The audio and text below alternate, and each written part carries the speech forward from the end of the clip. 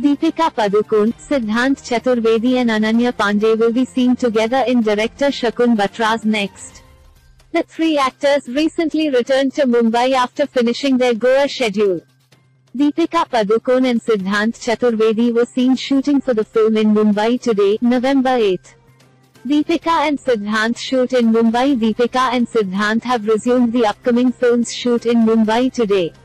In the pictures, Deepika is sporting blue jeans and a white top. Check out the photos and video below.